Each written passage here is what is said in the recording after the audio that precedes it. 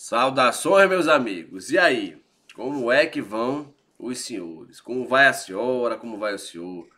É, meus amigos, infelizmente eu trago aqui à baila uh, um assunto que pouco é comentado, mas é uma realidade, uma realidade posta. É possível sim que a criação do Aliança pelo Brasil não passe apenas de um sonho. E você vai entender exatamente por quê. Também vou comentar aqui com vocês a respeito do caso da meninazinha de 10 anos. Eu vou dar o meu parecer, o meu ponto de vista, já do meio do vídeo para frente. Pois pronto, meus amigos. Mas antes de nós prosseguirmos, Mauro vai fazer aquele pedido especial. Peço a vocês que entrem, acessem o link abaixo, está na descrição e afixado no topo dos comentários. Quero que vocês aí se inscrevam, gostaria muito que vocês se inscrevessem e passassem a acompanhar o canal do nosso amigo Ravox Brasil, que foi alvo da busca e apreensão lá no, do STF. Lembra o negócio dos atos antidemocráticos, aquela fuleiragem toda? Pois pronto, ele foi, meus amigos, alvo e o canal dele ainda está tentando retomar, pois ele teve que ficar 15 dias sem gravar. Então é natural que o canal dê uma queda e eu peço a vocês que contribuam, colaborem aí e passem a assisti-lo, deem uma oportunidade ao nosso amigo. E você que já o acompanha, lembre, perdão, que Ravox já está de vento em popa, meu amigo. É isso aí. Então vamos começar. É o seguinte, não se preocupe. Tem a ver com Roberto Jefferson, tem a ver com o PSL, tem a ver com outros partidos. Mas agora você vai entender absolutamente tudo. Vou, vou começar aqui. Veja aqui, o Bolsonaro, Bolsonaro põe em dúvida a, o projeto, a criação, o projeto para a criação do Aliança pelo Brasil e acabou recebendo algumas propostas. Tá? Isso porque, meus amigos, vamos com calma. Uh, open your mind. Abra a sua mente antes de tomar qualquer conclusão, ter, eh, tirar qualquer conclusão aí precipitada. Veja bem. O Aliança pelo Brasil, conforme você pode ver aqui, ele tinha conseguido apenas 3% das assinaturas até julho.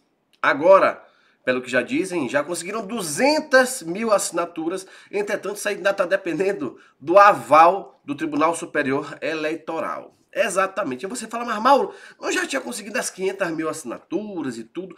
Acontece, meus amigos, meus nobres amigos, quando nós temos assim uma campanha nesse sentido, sempre você tem que contar com um elementozinho chamado esquerda. Então, inúmeras, milhares de assinaturas enviadas foram fraudadas. Enviaram gente, nome de gente morta, enviaram o nome de gente que não existe. O CPF não bate, não bate com, com, com nome. Tem gente que não está mais nem na terra. Então vocês já imaginam a fuleiragem que não foi feita para poder embaçar esse projeto.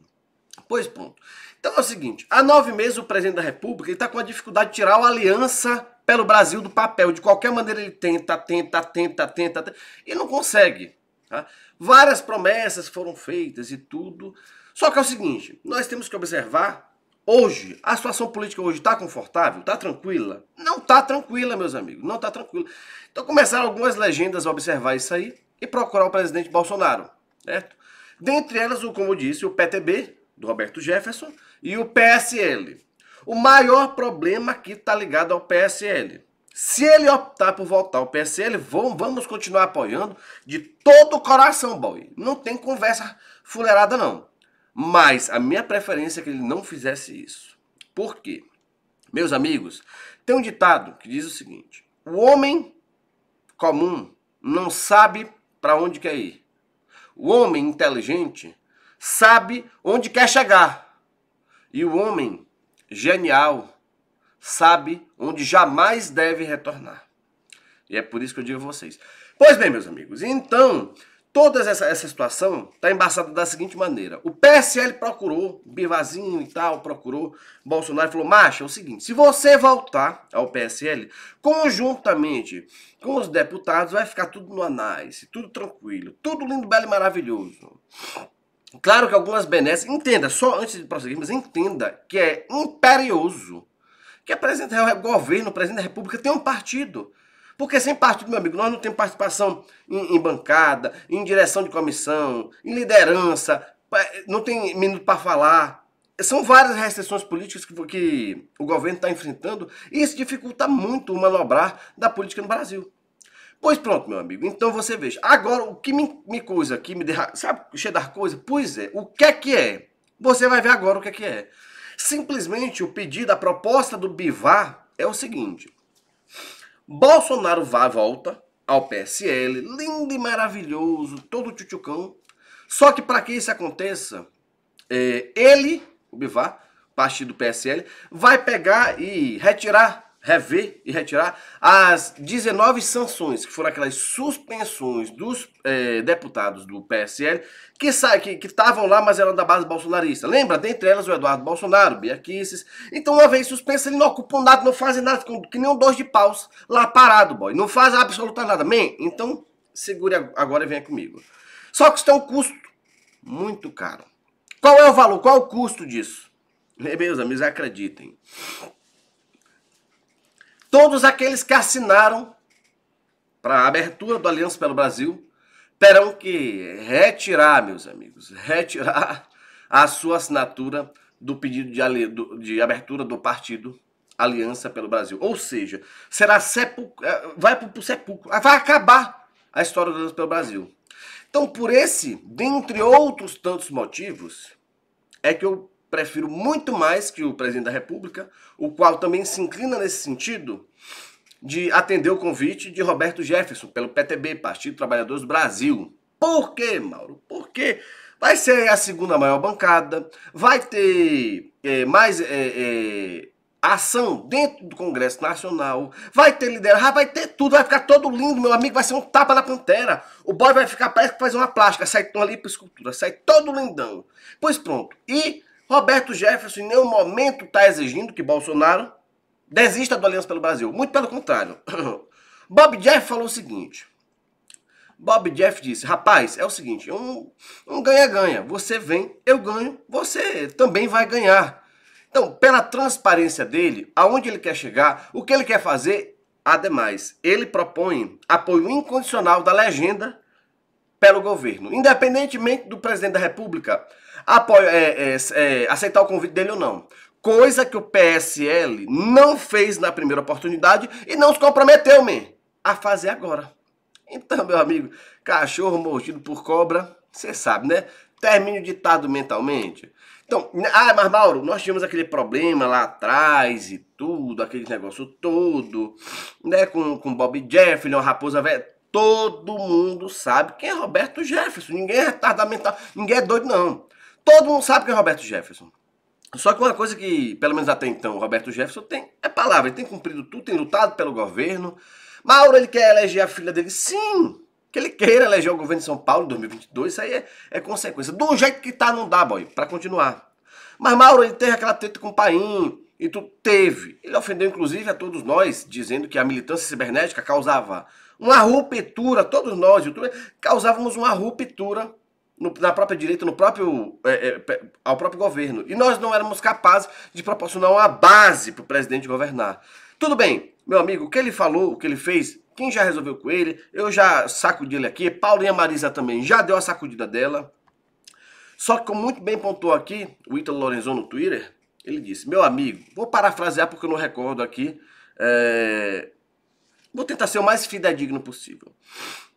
É o seguinte, meu amigo, se você não entende que é necessário, ainda que transitoriamente, você fazer alianças políticas com quem você despreza, seu lugar não é na política. E realmente tem toda a verdade isso aí, com substância. Isso aí é, resume tudo, tudo, pelo menos na política brasileira.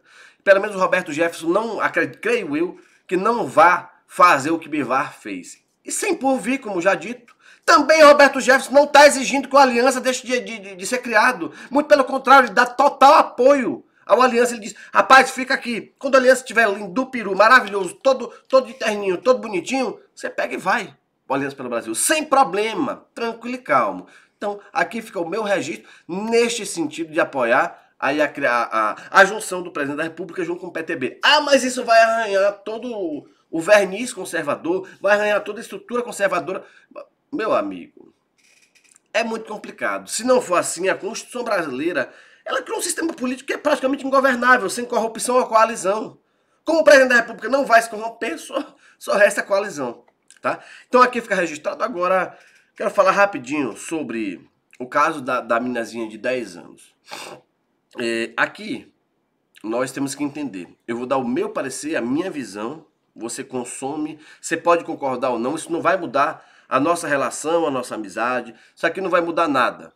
Eu continuarei aqui defendendo o presidente da República, mas eu espero que, de repente, quem tiver uma outra visão, pare pelo menos um tempinho e escute o que eu estou falando. Meus amigos, quando a gente fala aqui, quando a gente trata do direito à vida, nós tratamos de um direito indisponível. Tá? Um direito indisponivelmente divino. É um direito que somente a criação, somente o poder, o Criador do nosso Deus pode proporcionar.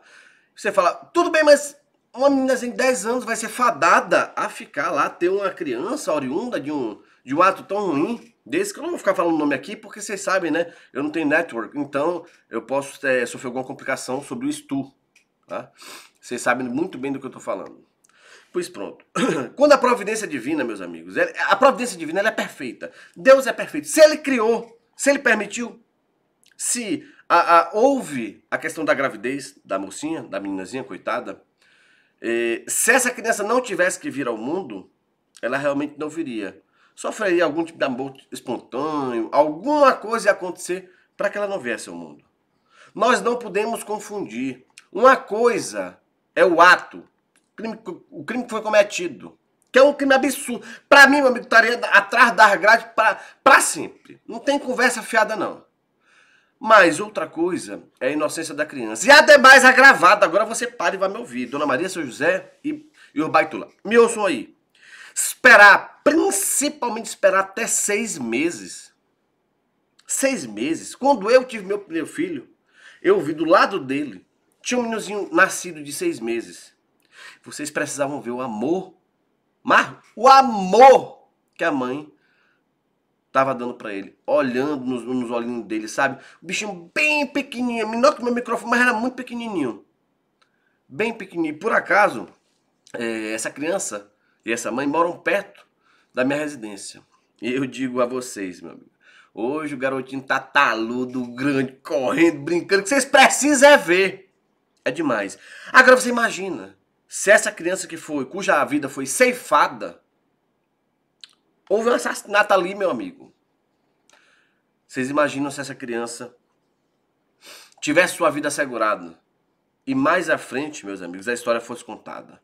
Você não consegue curar um trauma que eu estou causando outro trauma, que é um assassinato. Não dá para fazer isso. Você quer ver os mesmos que protegem o direito da mulher. Não, nós temos que coisar, não sei o que, garantir que a criança não coise, que a criança faça isso, que a criança faça aquilo outro, que a criança não tenha o coisa. Então, os mesmos que querem ceifar, não digo todos, tá? Mas os mesmos, a grande maior parte aí, a grande maioria, que quer ceifar, que quis ceifar, foi a favor do ceifar do direito da, da a vida dessa criança, que assassinou essa criança aí. Esses mesmos, meus amigos, se você perguntar e a pena de morte para aquele, aquele boy ali, o estuprador? Se seria a favor? Eles automaticamente dizem não. Eu sou contra as duas hipóteses, as duas opiniões, tá? Tanto a morte quanto uh, uh, o aborto. Então, meus amigos, aqui fica registrado o seguinte: entendamos, pelo menos na minha visão, minha, minha humilde visão. Você pode discordar, mas não fique chateado comigo. O direito à vida é inviolável. Basta para eu mudar de opinião você me apresentar uma única, uma única pessoa que tenha sido abortada e diga que não se importou. Nós vamos ficando por aqui. Um grande abraço, beijo a todos e até breve.